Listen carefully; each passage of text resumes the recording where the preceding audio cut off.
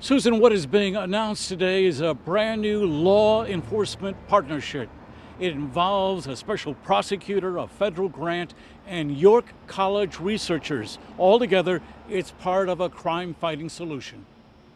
A new task force will now use data from crimes in the city to come up with better strategies for fighting gun violence. So far this year, York police report 10 criminal homicides and 42 separate shootings.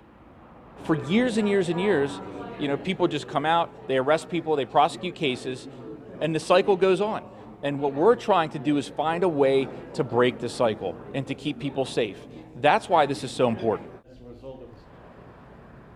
The new task force is already at work. Its first report is due out early next year. Outside York Police, Ed Weinstock, WGAL News 8.